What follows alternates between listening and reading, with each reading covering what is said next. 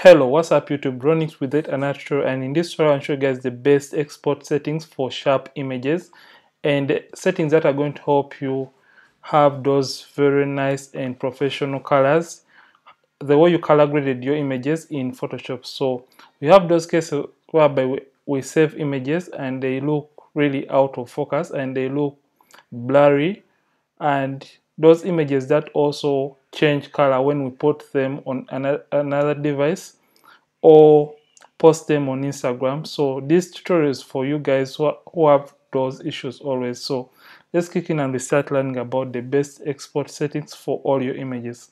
And as you can see, I already did the skin retouching for this very image. And for those interested, I can show you guys the before and after right here. So this was the image initially before and after, before, after. So I already did the skin retouching to this very image and those interested, I'm going to put the link for you guys right above here so that you can learn about how I do my skin retouching in just Photoshop. So that is not the emphasis for this tutorial. So I'll show you guys the problem you guys always encounter when you're going to do uh, your export settings.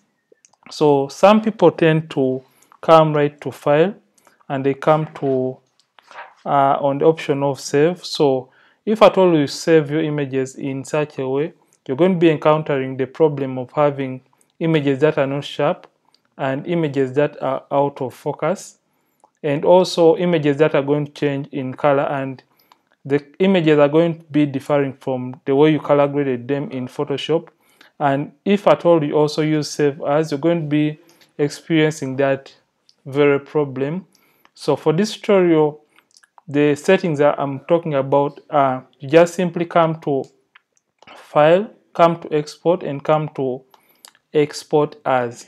So when you come to export as, you're going to get this window right here opened for you right into Photoshop. And when it is opened, uh, you're going to get your preview. So a brief information about uh, this window. Right here you see the image details and you can see it is a JPEG file and it is 9.9 MBs and now when you come right to the format you can change it from a png to whichever format you want to save. But if at all you have an intention of posting your image maybe to uh, facebook or instagram always come and select jpeg. So when you come and select jpeg uh, you have the quality option right here.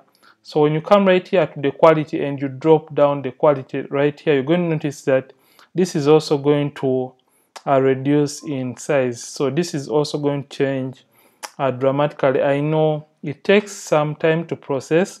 You can see it has changed from 9 to 2 MBs and when I move this all the way up you're going to notice that you're going to get back the original size of your image. So usually I don't tamper with image size. So under image size we have width and height. But if at all you want to play around with, the, with these pixels you can still play around with them rather. Then the scale, I also don't tamper with it. So if at all I want a really nice and sharp image after exporting, uh, this is where the first trick happens. So come to resampling and, and select bicubic sharper. So initially it is going to be on bicubic automatic. So just come and select a bicubic sharper so after selecting that, I don't also tamper with the canvas size because I want the image already cropped in my ratio of 4 to 5. So when you select that, so I don't tamper with the canvas size, that is the width and height of the image. So right now, if at all you don't want to encounter that problem of your images always and always changing color and you end up getting disappointed, when you put the image maybe on social media or you put it on a different device this is where you have to find a solution for you. So we have the option of color space. So in come color space we have convert to sRGB and embed color profile. So these are two options you have to make sure that you have are checked. So make sure you select both.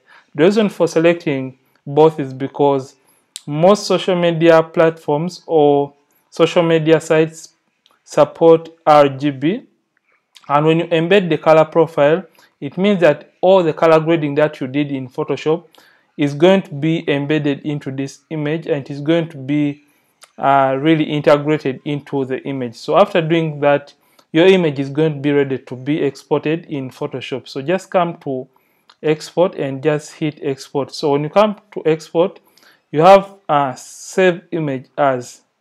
So when you come to save image as, of course already selected JPEG. That's why you have a JPEG extension right here. So you can rename your image to whichever you want. So for this case, I'm going to name this image a best export. And here you have the location where you are where you want to save your image, maybe on your computer or on your external drive. So for this case, I want to save my image onto my desk my desktop rather. So I've selected desktop in this case, and after that, just come and hit save.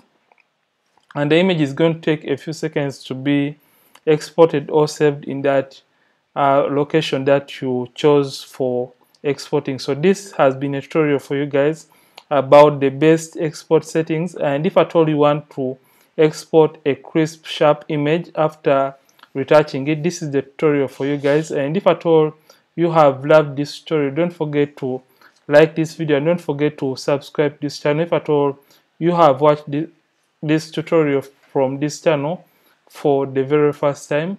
Ronnix from Ronnix Photography. Thank you for watching and I'll see you in yet another tutorial on this and don't forget to keep practicing and keep creating.